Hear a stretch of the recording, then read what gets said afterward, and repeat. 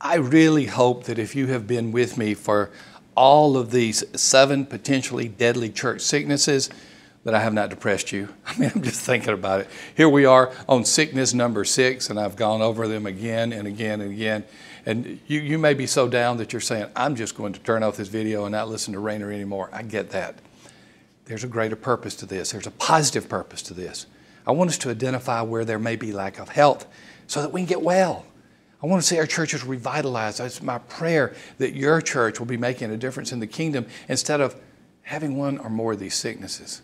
So I hope that you understand that there is a greater and more positive motive to going over these sicknesses rather than just to tell you how sick many of our churches are. The desire is to see churches go to greater health. Okay, you might have asked at this point, are these in any particular order?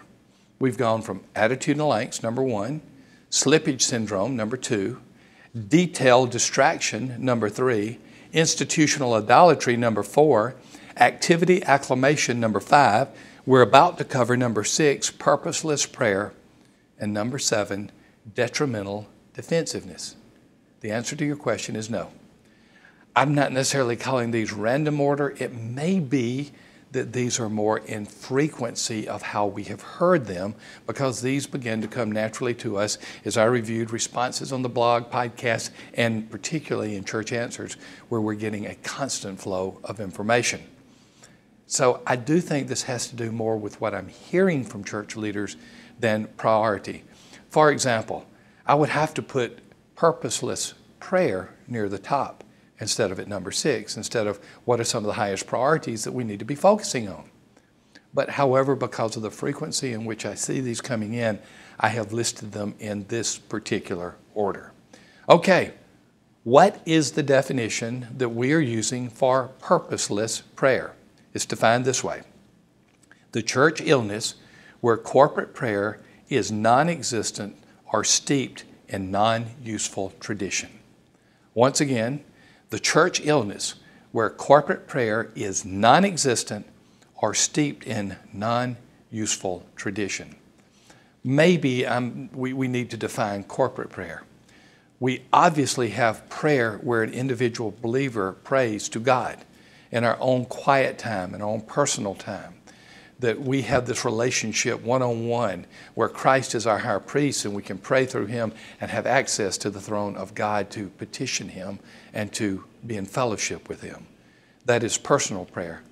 Corporate prayer is something within the church where more than one person comes together for the purpose of gathering in powerful combined prayer.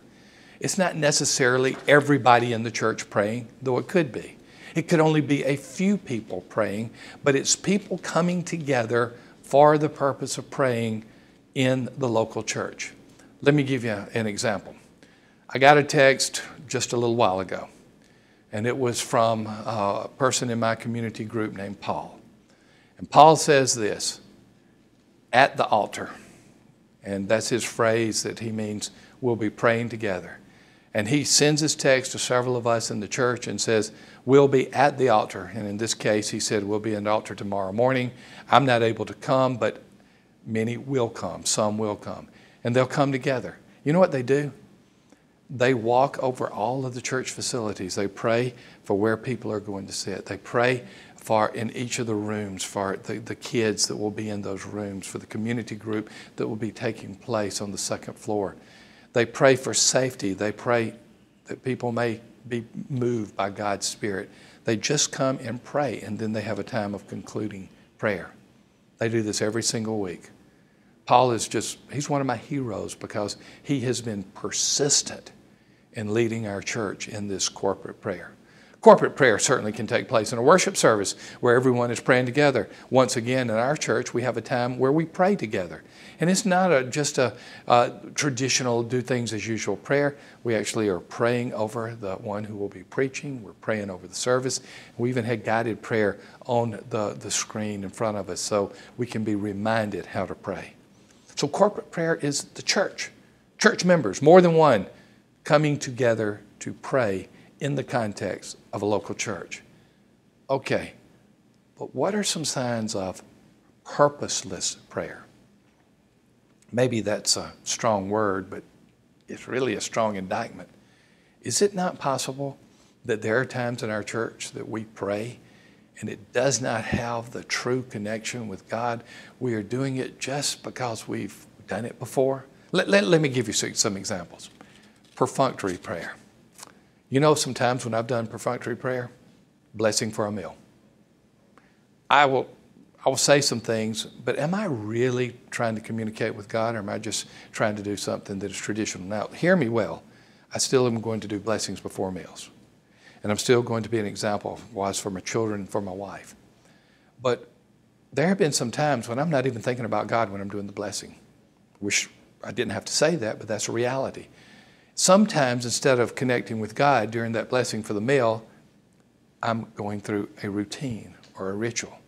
That's an example of a perfunctory prayer. Have, have, you, have you ever heard someone pray the same thing over and over? Um, not, not in one prayer, but whenever they're going to pray, they're going to say the same words. I'm not accusing those people of, of not connecting with God and having a real desire to communicate with Him, but you wonder. You wonder if the offertory prayer all the time is bless the gift and the giver, if the people are really praying to God at that time, are these just words emanating from their mouth? I got to be careful not to be too judgmental in this, but simply to say that, and many times in our church, when we say, Do you have prayer in your church? they have more perfunctory prayer than dynamic prayer. Another type of prayer, unfortunately, is showmanship prayer. I remember one time when I was going through a tough time, somebody said they wanted to pray over me. Certainly, I'm going to always want prayer. And in that prayer, they prayed and they said, and God, you know all the things I'm going through. And, and, and they just went through this long list of things that, that were bothering them and all the struggles that they had had. Well, I wanted to just pause them for a moment and say, You giving me a list of your problems and trying to compare mine to yours? Are you really praying to God? God already knew your problems. Why, why are you saying those type of things? Is that an example of showmanship prayer where I just want to pray over you and, and just look good? Again, I got to be careful. I am not the judge. But is it possible that a lot of our prayers are perfunctory and some of our prayers are showmanship, just to show that we can pray with eloquence, with words? Actually, there was a group of people in the New Testament that did that, and they were called the Pharisees. And they would pray, and they would have these words emanating from their mouths. But they weren't connecting with God, they weren't communicating with God. They were showmanship, so the rest of the world could see how holy, I say with sarcasm, how holy they were. Another thing is physical needs only prayer. I want to be careful here as well. Anytime there's a physical need, that person deserves and needs our prayers. But in many of our churches, that is the full extent of corporate prayers. The list is who is sick physically and who has physical needs instead of what are the, all the needs of the church. I always want to be careful in, in, you know, some, some of the sarcastic comments like a prayer list is an organ recital about which of the organs are not functioning right now. I don't want to say those things. I just simply want to say if it's only physical prayer, are we truly interceding for people who are lost without Christ? Are we interceding for the gospel to go to the nations? Are we interceding for our church to be unified and together?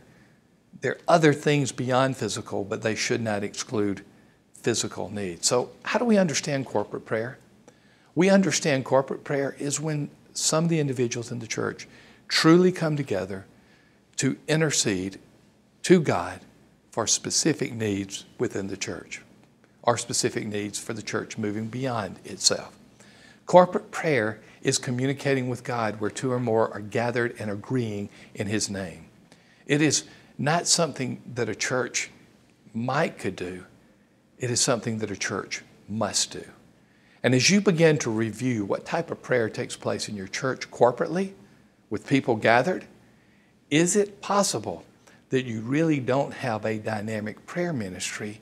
You simply have people going through the motions or going through tradition. Here's a warning to all people all leaders in churches. Don't move forward with anything in your church without meaningful prayer. That for a second, should you take an initiative, a, a, new, a new way to reach the community, or some major change in the church, what you're basically saying if you move forward without prayer is, We got this, God. We don't need you. And when you do that, whatever that initiative is, I would hope would fail because God has not been asked to be a part of it. Is this what is taking place in your church? Or are you really communicating with God and coming together to ask Him to make a difference in your life and in the church? This could be one of the deadliest illnesses in the church. A prayerless church really is not a church at all. So it is my sincere prayer that your church not be a purposeless praying church, but it be a church that prays with powerful purpose that God may make a difference in your congregation. Thank you once again for being here for the Rainer Report. It's always my joy to host you on these Wednesdays, and even though you may view it on a different day of the week, we release it on a Wednesday. And I thank you that you have been going through this series with me. Now, here's the word for you. We've got one more sickness to cover. that sounds funny. We got one more sickness to cover. We've got one more of these seven to go through. And it's one that maybe off the cuff doesn't make a whole lot of sense to you detrimental defensiveness. If you don't know what that means, come back and we'll be looking at that in the next video. Thanks once again to Costco, Tim Songster, the CEO, the design build firm. You need to contact those people at churchdesign.com if you have a facility need, building something, remodeling something. They are the best. I know because two of my sons are using them even as I speak. We'll see you next week as we go through the seventh of the seven potentially deadly church sicknesses.